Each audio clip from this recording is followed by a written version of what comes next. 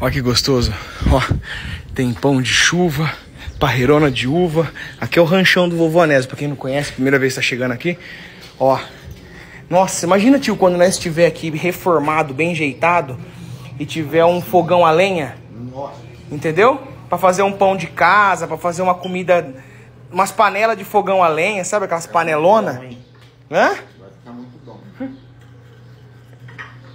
Ó o vovô. Ah, tem que pegar os remédios dele. Deixa eu ver se ele tá voltando. Vou lá buscar os remédios dele que ele esqueceu. Ó, tudo no jeitinho. Arrozinho, feijãozinho, safra sul. Que logo, logo vocês vão conhecer. Tá chegando. Safra sul tá chegando. A gente vai dar boas-vindas pra eles, que eles traz muitas novidades boas pra gente. É, graças a Deus, tudo dando certo cada vez mais.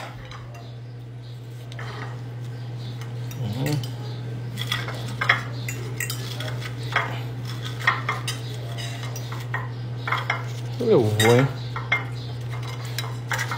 Ô tio, dá uma olhada aqui na, nas comidas. Eu vou lá ver se ele tá pegando o remédio dele. Ah, ele foi buscar. É isso que eu ia falar.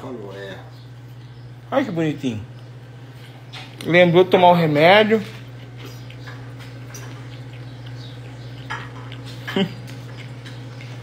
que rango gostoso, hein? Hum. Quer mais o quente, ó? Hum? Uma delícia. E o arroz é muito saboroso, hein? Esse arroz é perfeito.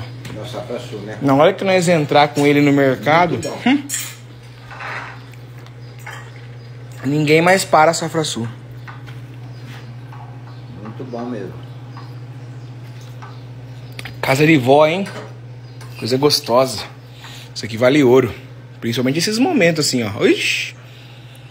Registrando pra compartilhar com vocês, lembrar da família dos seis, ó. Quarta-feira tomando uma gelada, comendo com vovô Anésio.